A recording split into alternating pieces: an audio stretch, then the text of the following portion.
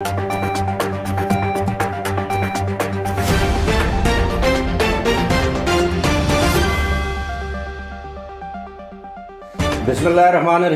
अस्सलाम अबरार रशीद आपकी खिदमत में एक मरतबा फिर हाज़िर है और आपसे दरख्वास्त है कि अगर अभी तक आपने इस चैनल को सब्सक्राइब नहीं किया तो सब्सक्राइब कर लीजिए। जो बेल आइकन है या घंटी का बटन है उसको ज़रूर प्रेस किया करें। और जो आल जिधर लिखा होता है, उसको क्लिक करें ताकि मेरी वीडियो का नोटिफिकेशन जो है वो बर वक्त आप तक पहुँचता रहे और आप मालूम बर वक्त हासिल करते रहें।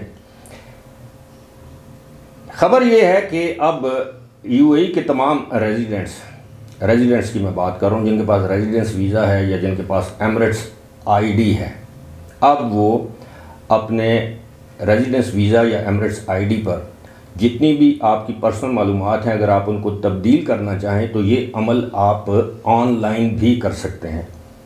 ये पहली मरतबा है कि Federal Authority for Citizenship and Identification, जिसे किसी ज़माने में आई सी ए कहते थे आप शायद आई सी पी कहते हैं, ये आप उसकी वेबसाइट पे जाएँगे, उसकी ऐप, स्मार्ट ऐप है, उसको आप डाउनलोड करेंगे, उसमें आप अपना एमरेट्स आईडी एंटर करेंगे क्लिक करेंगे, उसके बाद एक एप्लीकेशन ऐप फॉर्म सब सामने आ जाएगा, उसमें आपसे पूछा जाएगा कि आपने कौन सी जो आपकी डिटेल्स हैं पर्सनल डिटेल्स हैं, कौन से कवायफ हैं, जो आप तब्दील करना चाहते हैं। अब मैं आपको ये बता दूँ कि आप कौन से कवायद तब्दील कर सकते हैं। मिसाल के तौर पर, आप इसमें जो मॉडिफिकेशन कर सकते हैं, ये तब्दीलियाँ कर सकते हैं पर्सनल इन्फॉर्मेशन यानी मिसाल के तौर पे अगर आपका नाम की पासपोर्ट में तब्दील हो चुका है, आपका मैरिटल स्टेटस यानी आपकी जो अजदवाजी हैसियत है, अगर आप पहले शादीशुदा थे, अब नहीं रहे, या पहले गैर शादीशुदा थे और अब शादीशुदा हो गए हैं,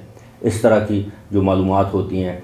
उसके अलावा आप प्रोफेशन यानी आपका प्रोफेशन अगर बदल गया है, पहले अगर आप मिसाल के तौर पर टीचर थे और अब आप जो हैं वो बिजनेसमैन बन गए हैं। या पहले आप कोई छोटा मोटा कारोबार कर रहे थे और अब आप कोई मुलाजमत कर रहे हैं, यानी अब आप डॉक्टर बन गए हैं, इंजीनियर बन गए हैं, पहले आप स्टूडेंट थे, अब इंजीनियर बन, यानी जो भी प्रोफेशन है आपका, पेशा, वो आप तब्दील कर सकते हैं।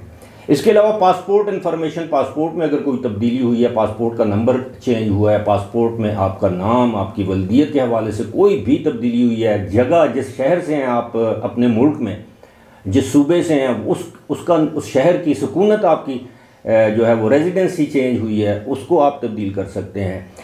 इवन नेशनैलिटी मिसाल के तौर पर अगर आप इंडिया के नेशनल थे या हैं, या पाकिस्तान के नेशनल थे या हैं, या किसी और मुल्क के नेशनल थे या हैं तो आपकी नेशनैलिटी तब्दील हो गई है, किसी और मुल्क की नेशनैलिटी मिल गई है तो वो भी आप इसमें तब्दील कर सकते हैं।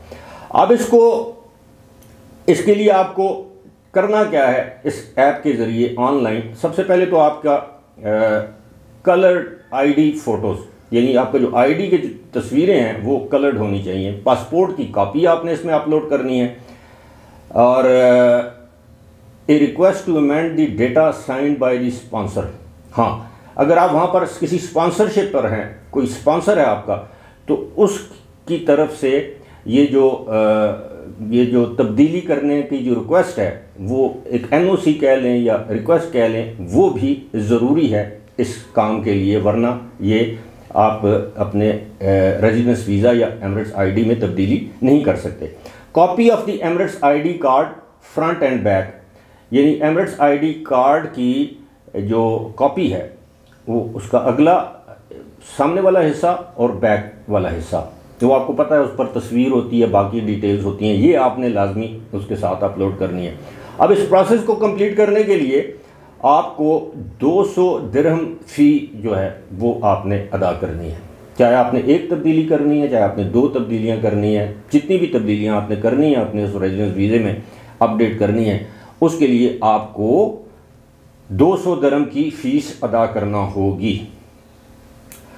और अगर आपकी ये एप्लीकेशन रिजेक्ट हो जाती है, मुस्तरद हो जाती है किसी भी वजह से, चाहे उसमें मालूम कम है या उसमें आपने कोई, उसमें कोई तफरीक आ जाती है, गलती आ जाती है तो आपको ये 200 दरम की रकम जो है वो रिफ़ंड कर दी जाएगी। यानी आपकी ये रकम डूबे, डूबेगी नहीं। ये एक अच्छी बात है।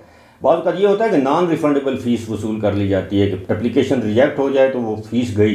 लेकिन इस सूरत में अगर आपकी एप्लीकेशन रिजेक्ट होती है तो आपको आपकी फ़ीस जो है, दो सौ दरम वापस मिल जाएगी। लेकिन ये सारे काम अगर आप पढ़े लिखे हैं, अगर आप पढ़े लिखे नहीं भी हैं तो आप अपने किसी साथी से कह सकते हैं, वो स्मार्टफ़ोन पर लैपटॉप पर ये ऐप जो है, वो डाउनलोड कर ये सारी चीज़ें कर सकता है। इसके लिए अब आपको किसी visa centre Amer centre typing centre जाने की ज़रूरत नहीं है।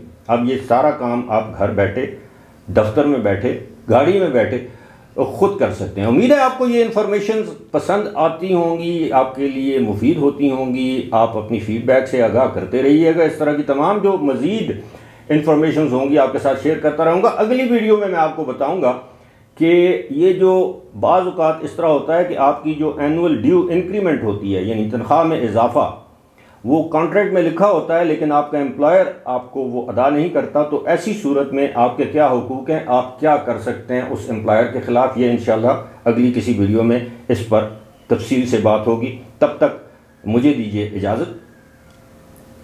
खुदाफिज